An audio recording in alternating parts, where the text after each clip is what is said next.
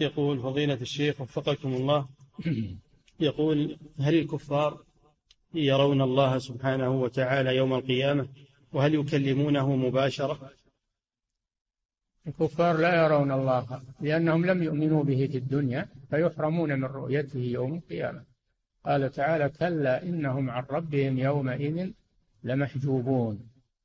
ثم إنهم لصال الجحيم. لأن رؤية الله كرامة ونعيم ولا ينالها الكفار الذين لم يؤمنوا به. نعم.